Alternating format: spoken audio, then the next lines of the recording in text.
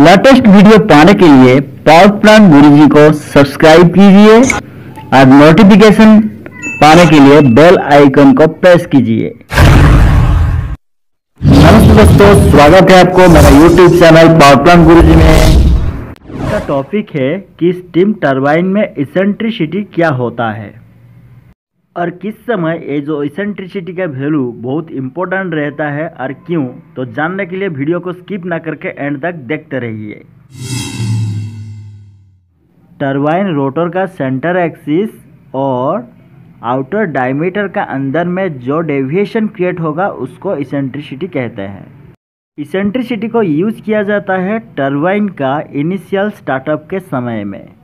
Turbine supervisory instrumentation के लिए eccentricity एक मेजर रोल प्ले करता है।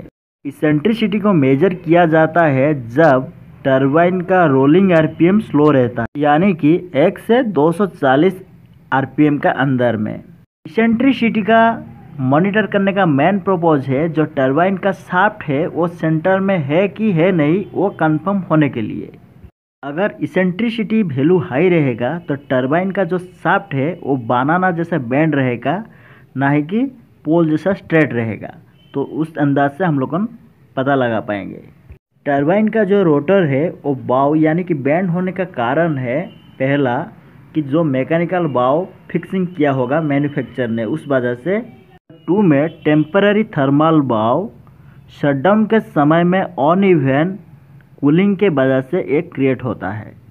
नंबर थ्री में देखेंगे ग्रेविटी वाव ये रोटर का मास के वजह से क्रिएट होता है। बहुत ही एक्सट्रीम केस में क्या होता है, ना जो थर्मल या ग्रेविटी वाव टरबाइन सडनली ट्रिप होने के वजह से या टर्निंग गियर डिसएंगेज होने के वजह से एंट्रिसिटी आरपीएम का एक तो शटल लिमिट का अंदर में मेजर किया जाता है। उस लिमिट पार होने का बाद आर ए रिक्वायरमेंट नहीं होता है।